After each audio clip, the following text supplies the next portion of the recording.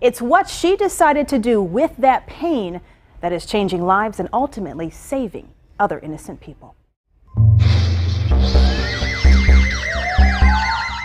He saw all the blood coming from her head, eyes, nose, mouth, and ears. And then the doctor came in and told us they were working on her. And then the next thing I remember is him coming in and telling me that they couldn't save her. Uh, I don't want anybody else to hurt like this. It's happening 24 hours a day. You know, a lot of people just don't want, they don't want to leave their cars at the bar. Um, so they make that they make that decision to, to go out and drink and drive. I will never get over the loss of my daughter or the loss of my nephew.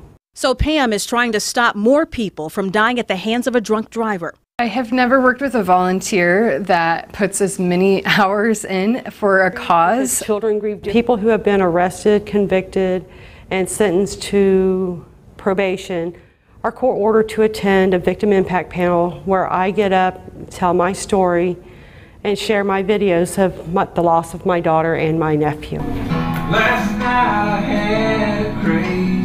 They're actually getting to see my daughter from birth to the day she died, and they get to see the vehicle that she died in, and they get to see her face on her gravestone.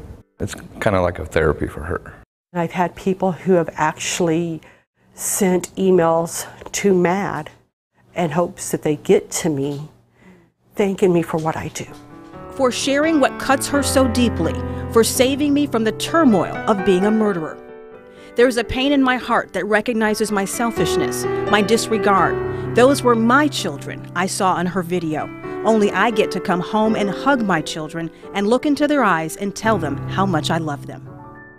So many people have been touched by what you guys have gone through. Pam, on behalf of Community Health Network and Fox 59, thank you for all that you do. Congratulations on being the November Community Hero of the Month. Thank you.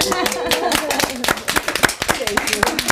I, I've never done any of this to get an award. I've always done it just to try to make people aware of the consequences yeah. of drinking and driving. Yeah. And as you can see there, Pam was genuinely touched. Now, you may remember the story of her nephew, Jesse Sperry. You're looking at that crash.